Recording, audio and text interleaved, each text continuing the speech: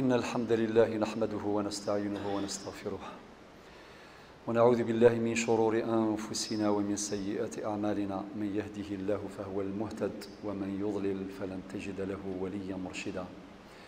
وأشهد أن لا إله إلا الله إله الأولين والآخرين وقيوم السماوات والأرضين الذي لا عز إلا في طاعته ولا غنى إلا في الافتقار إليه وأشهد أن محمدا عبده ورسوله بلغ الرسالة وأدى الأمانة ونصح الأمة وجاهد في الله حق جهاده حتى آتاه اليقين. اللهم صل وسلم وبارك عليه وعلى آله وصحبه أجمعين.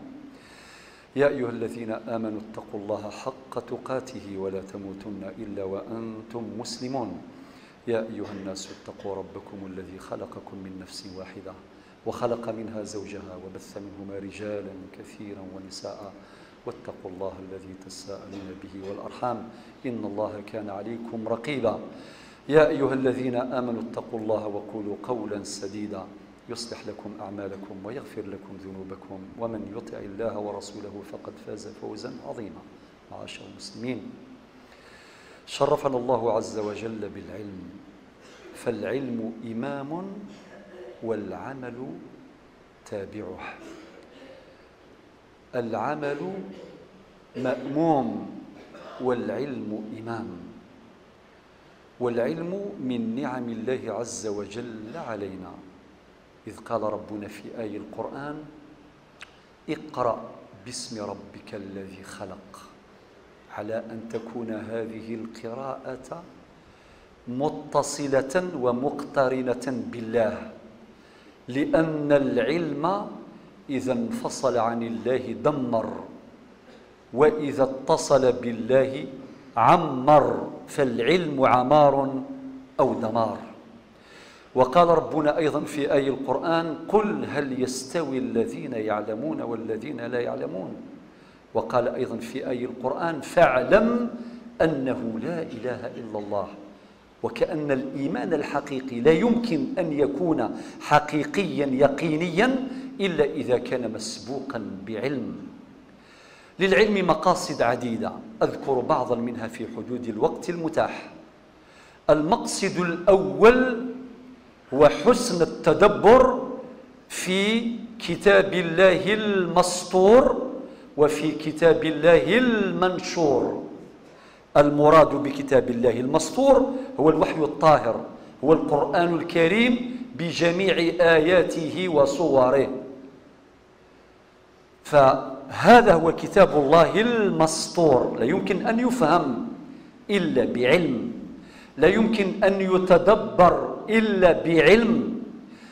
ثم أننا لا يمكن أن نحسن قراءة كتاب الله المنشور في ملكوته في مخلوقاته إلا بالعلم. يقول ربنا في سورة فصلت الآية 53 سنريهم آياتنا في الآفاق. وفي أنفسهم حتى يتبين لهم أنه الحق. وما ذكرناه أيضا في سورة ياسين في سورة 36 سبحان الذي خلق الأزواج كلها مما تنبت الأرض ومن أنفسهم ومما لا يعلمون. وما ذكره الله في آيات أخرى كثيرة. علم العليم وعقل العاقل اختلفا. من ذا الذي منهما قد أحرز الشرف؟ فقال العلم أنا أحرزت رايته. وقال العقل أنا الرحمن بي عرف فأفصح العلم إفصاحا. وقال بأين الرحمن في فرقانه اتصف فبان للعقل أن العلم سيده فقبل العقل رأس العلم وانصرف. وصدق الله إذ يقول إنما يخشى الله الله من عباده العلماء. هذه هذا مقصد أول المقصد الثاني هو صحة العبادات. لا يمكن أن تكون عبادتنا صحيحة إلا بعلم. الصلاة بمعرفة المأمورات والمنهيات والفرائض والأركان والواجبات والمستحبات والمكروهات والممنوعات. الزكاة أيضا بمعرفة أوعية الزكاة ومقادير الزكاة وكذلك الصيام. بمعرفة أحكامه وفضائله وجميع مندوباته ومستحباته ومكروهاته إلى آخره. وكذلك الحج لا يمكن أن يكون الحج مبرورا إلا بعلم مسبق. يضاف إلى النية لحديث النبي صلى الله عليه وسلم إنما الأعمال بالنيات وإنما لكل امرئ ما نوى. وقال النبي عليه الصلاة والسلام الحج المبرور ليس له جزاء إلا الجنة.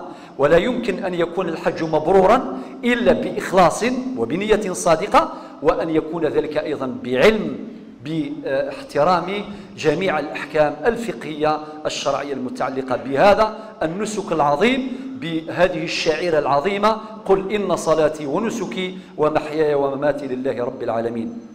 المقصد الثالث صحة المعاملات. حينما ننتشر في الأرض ونبتغي من فضل الله وندخل الأسواق ونبرم العقود والعهود المختلفة والاتفاقات المختلفة لابد أن تكون موافقة للشريعة لذلك صدق آه، أمير المؤمنين الفاروق عمر بن الخطاب حينما قال من لا يعرف فقهنا لا يدخل أسواقنا. لابد للمسلم أن يتعلم الأحكام الشرعية التي تجعله يتحرى الحلال ويتجنب الحرام. المقصد الرابع حل الأزمات. أزماتنا كثيرة جدا لا تعد ولا تحصى على جميع المستويات المستوى الاجتماعي الاقتصادي الثقافي الإعلامي السياسي الحضاري. مشكلاتنا وأزماتنا كثيرة جدا. لا يمكن أن تحل وأن تدار هذه الأزمات إلا بعلم.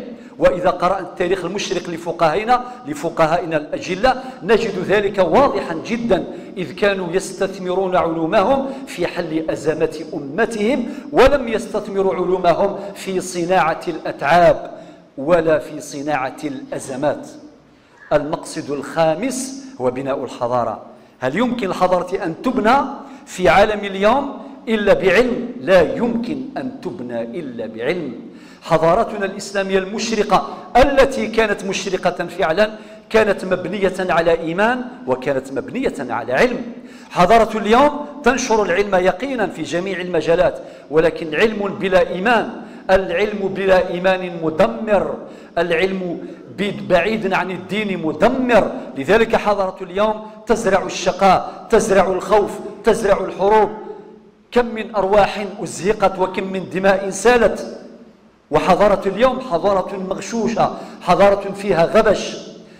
قدمت الكثير للإنسان في الجانب المادي ولكنها طغت. أتدرون لما طغت؟ طغت لأنها ابتعدت عن وحي الله الطاهر ولكن نحن نريد بهذا العلم أن نبني حضارة تسعد الإنسان ولا تشقيه.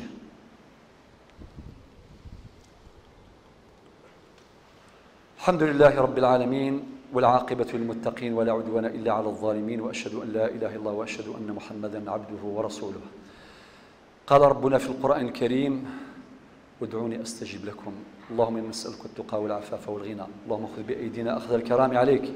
اللهم خذ بأيدينا أخذ الكرام عليك. اللهم اشف مرضانا ومرضى المسلمين. وارحم موتانا وموتى المسلمين. اللهم اشف مرضانا ومرضى المسلمين. وارحم موتانا وموتى المسلمين. اللهم وفقنا وفق حجاج الميامين لأداء المناسك أحدى أحسن أداء. اللهم اجعل حجهم حجا مبرورا. واجعل ذنبهم ذنبا مغفورا واجعل سعيهم سعيا مشكورا. اللهم غير حالنا لأحسن حال. اللهم غير حالنا لأحسن حال. اللهم زدنا إيمان وتقوى ويقينا. اللهم زدنا ألفة وأخوة ومحبة وسعادة. اللهم أرنا الحق حقا وارزقنا اتباعه. وأن الباطل باطل وارزقنا اجتنابه. سبحان ربك رب العزة عما يصفون. وسلام على المرسلين والحمد لله رب العالمين. أقم الصلاة.